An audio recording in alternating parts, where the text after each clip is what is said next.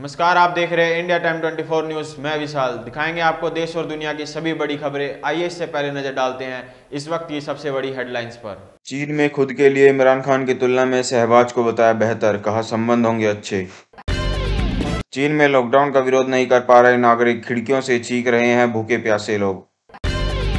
अमेरिकी विशेषज्ञों की चेतावनी, यूक्रेन में बड़ा हमला करने की तैयारी कर रहा रूस। यूक्रेन से विस्थापित लोगों की संख्या 45 लाख के पार ट्रेन स्टेशनों पर मिसाइल हमले में मरने वालों की संख्या बढ़ी। पाकिस्तान में दोपहर दो बजे शुरू होगा संसद सत्र, शाहबाज शरीफ भरेंगे पीएम का नामांकन। कश्मीर फ़ाइल पर बोले, शरद पवार यह दुर्भाग्यपूर्ण है कि सत्ता में बैठे हुए लोगों ने फ़िल्म का प्रचार किया। धान खरीद के मुद्दे पर आज दिल्ली में विरोध प्रदर्शन करेंगे टीआरएस नेता।